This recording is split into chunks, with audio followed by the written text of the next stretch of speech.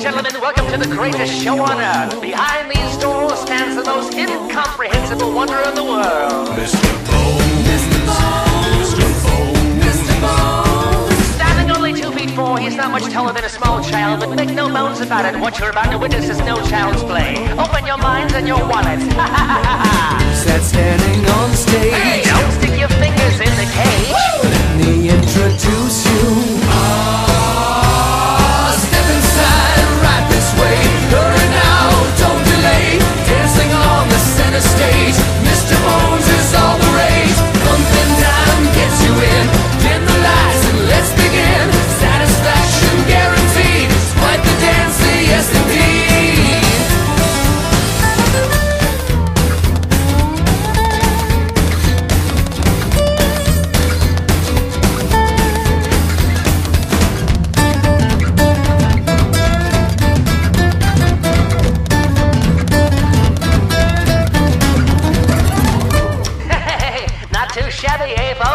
Well, you ain't seen nothing yet.